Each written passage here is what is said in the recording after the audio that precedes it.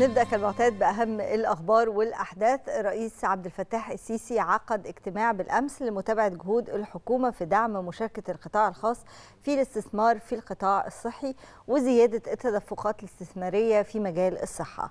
ووجه سيادة الرئيس بسرعة الانتهاء من الخطوات التشريعية المطلوبة لتسهيل مشاركة القطاع الخاص في المنظومة الصحية بما يعزز من إمكاناتها الحالية ويرفع قدرتها الاستيعابية وجودة وكفاءة الخدمات الصحية بشكل عام الملف الاقتصادي أيضا كان حاضر بقوة في مجلس الوزراء. الدكتور مصطفى مدبولي رئيس الحكومة عقد امبارح اجتماع لمتابعة الموقف التنفيذي للأعمال بالمكت... بالتجمع العمراني الجديد في جزيرة الوراق.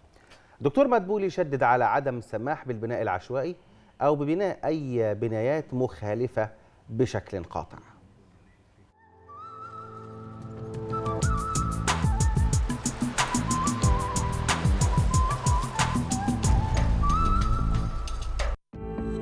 أخبار كتيرة مهمة حصلت امبارح. أبرزها اجتماع الرئيس عبد الفتاح السيسي لمتابعة جهود الحكومة لدعم مشاركة القطاع الخاص في الاستثمار في القطاع الصحي وزيادة التدفقات الاستثمارية في مجال الصحة. وتم استعراض آليات متابعة التزامات المستثمرين لإنشاء وتطوير وإدارة وتشغيل المنشآت الصحية والأطر التشريعية اللازمة في هذا الصدد. ووجه الرئيس بسرعة الانتهاء من الخطوات التشريعية المطلوبة لتسهيل مشاركة القطاع الخاص في المنظومة الصحية بما يعزز من إمكاناتها الحالية ويرفع قدرتها الاستيعابية وجودة وكفاءة الخدمات الصحية بشكل عام.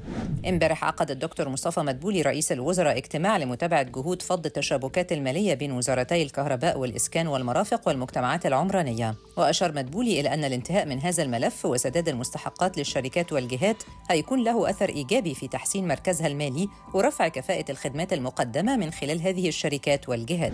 امبارح عقد الدكتور مصطفى مدبولي رئيس الوزراء اجتماع لمتابعة الموقف التنفيذي للأعمال بالتجمع العمراني الجديد بجزيرة الوراق وشدد رئيس الوزراء على عدم السماح بالبناء العشوائي أو أي بنايات مخالفة بشكل قاطع موجها كل الجهات الحكومية صاحبة الولاية على بعض الأراضي في جزيرة الوراق بعدم السماح بأي تعدي على الأراضي لافتا في الوقت نفسه لمواصلة الحكومة صرف التعويضات المناسبة لمستحقيها.